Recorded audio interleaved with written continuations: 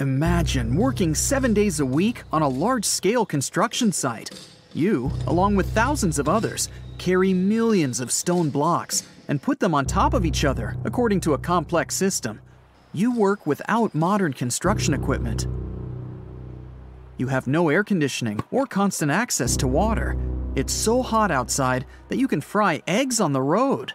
You've been building the pyramid for decades, and now, when it's finally done, you enjoy the result of the colossal work of thousands of people. You're looking at a giant cultural monument of global value that will freeze in time and amaze people for tens of thousands of years. A few thousand years have passed. People in the 21st century see the pyramids and are like, wow, I can't believe humans have built this. Yeah, the people who built the pyramids wouldn't have appreciated such a theory. But actually, there are reasons to believe that people built it using some fantastic technology. From the outside, it seems the Great Pyramids are just big triangles of stone. People just put some heavy blocks on top of each other, and that's it. In fact, the design seems too perfect to be true. The pyramid consists of more than 2 million blocks. They lay so close to each other and are so even that you couldn't squeeze even a thin sheet of paper between them. Scientists still can't figure out the exact technology for building the Egyptian pyramids. One of the biggest and most famous is the Great Pyramid of Giza. This huge construction, well known all over the world, has one big secret. There should be a capstone on top of the pyramid. It's a triangular shaped stone block, a small pyramid on top of a huge one. It's also called a pyramidion. The builders of ancient Egypt made it out of granite and limestone and covered it with gold. No records or old drawings prove that there was a pyramidion at the top of the Great Pyramid of Giza. But there's another ancient Egyptian structure with such a triangle, the Red Pyramid. It was built before the Great One, and its capstone has survived to this day. Archaeologists have found and reconstructed it. But where could the capstone of the Great Pyramid be? It's a mystery that still has no answer. Some are sure that some thieves have stolen it from the top. Maybe they just climbed up and pushed the pyramidion down. It makes perfect sense. The capstone was probably the most valuable element of the pyramid. Many scientists and archaeologists still don't know its exact purpose. Some believe that this peak covered with gold glorified the pharaohs. The capstone reflected moonlight at night and illuminated the entire space around it. During the day, the capstone reflected sunlight with its shiny surface. You could have noticed it from afar. The top of the pyramid was a kind of guiding star for lost travelers. All other stone blocks of the pyramid consist of limestone. People polish them to make them look shiny. In the past, they were even glowing and reflected light. You could see glowing pyramids from space, although they looked like tiny lights. Over thousands of years, winds, sandstorms, and rains have changed the pyramid's appearance. If people had taken care of them all this time, they would have looked like something out of science fiction movies or the pyramids from Las Vegas. But unfortunately, we will never see their original appearance. Some archaeologists and scientists believe that the capstone could absorb the sun's energy and distribute it evenly throughout the pyramid. No one knows precisely why the Egyptians needed this technology. There's a theory the pyramids are ancient energy systems. The pharaohs applied this energy to use some unique technologies that were more advanced than all the achievements of the 21st century and the triangular shape of the pyramids was ideal for boosting this electromagnetic energy. In theory, solar radiation, or electromagnetic forces, accumulated at the top of the pyramid, filled the inner rooms, and then went down the walls to the base. Any surface distortion could prevent the flow from spreading, so they had to create a perfectly smooth surface that's why they installed the blocks so that nobody could squeeze a needle or razor blade between them. Many people believe in this theory because they built the pyramids from limestone. This material can hold energy inside itself. In the inner part, they created granite deposits to cause air ionization, that is, to create an electric charge. They also dug channels under the pyramid for water to transmit electricity. And at the top, they put a gold capstone, the best conductor of electricity.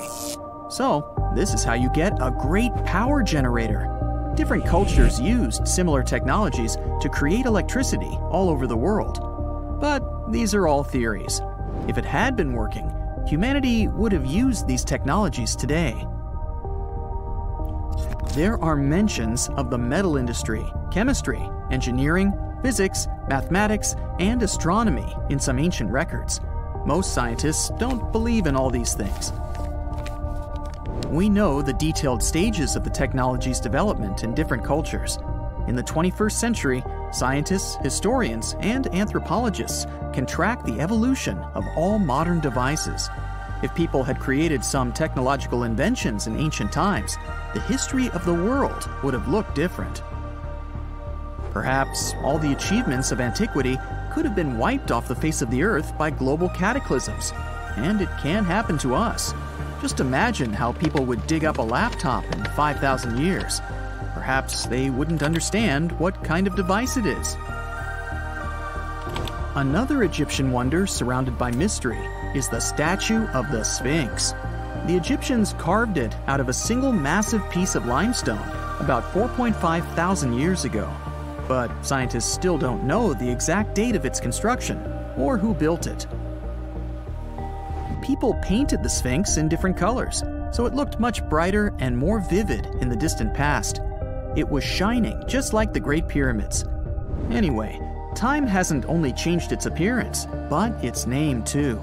Initially, the Egyptians called it Hor-em-akhet. The Greeks renamed it the Sphinx about a few hundred years after it had been built.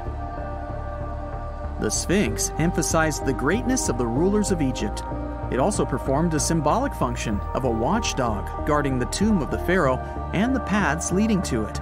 This version sounds realistic, since archaeologists have discovered many secret entrances at the foot of the Sphinx. Perhaps these rooms and intricate tunnels lead to underground halls with treasures. And treasures don't always mean gold and jewelry. According to legends and theories, the Sphinx guards the Hall of Records, the storage of all humankind's knowledge.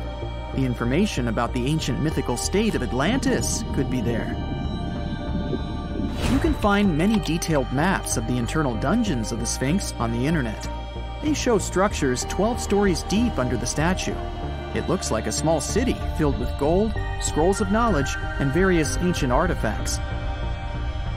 But don't believe all these maps. These are just theories. Several thousand years have passed, but people have very little information about it.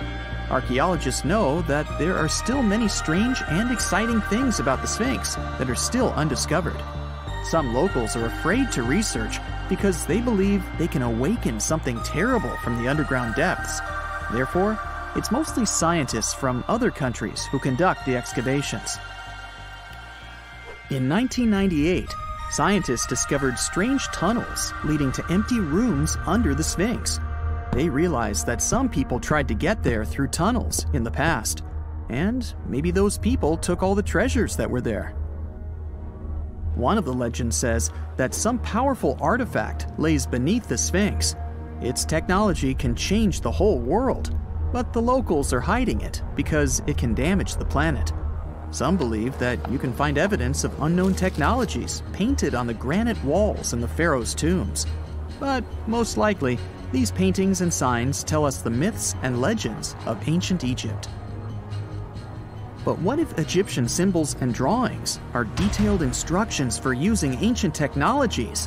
What if the locals that lived at that time thought, hmm, people in the future won't be able to get energy themselves. Let's leave some detailed instructions for them. Anyway, there are many riddles and theories. In reality, the search for answers is a dangerous undertaking, since it's not easy to get into the underground halls. Excavations can ruin the structure of the entire Sphinx.